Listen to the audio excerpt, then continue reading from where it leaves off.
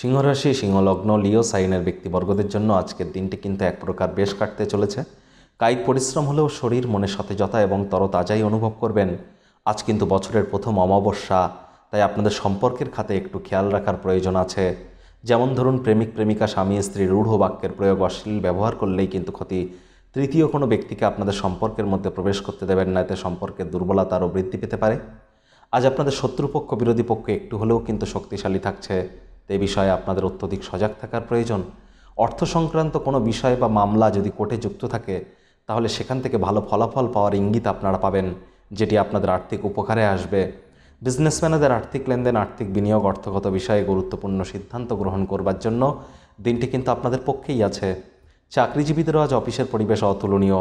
তবে যেহেতু রবিবার ছুটির দিন যদি বাড়িতেই থাকেন আয়েস আমোদ প্রমোদ বিনোদনের মাধ্যমে কাটান। আসছে সপ্তাহের জন্য শক্তি সঞ্চয় করতে পারবেন। শিক্ষার্থী বিদ্যার্থীদের পড়াশোনায় আরও মনোযোগ বৃদ্ধি করতে হবে।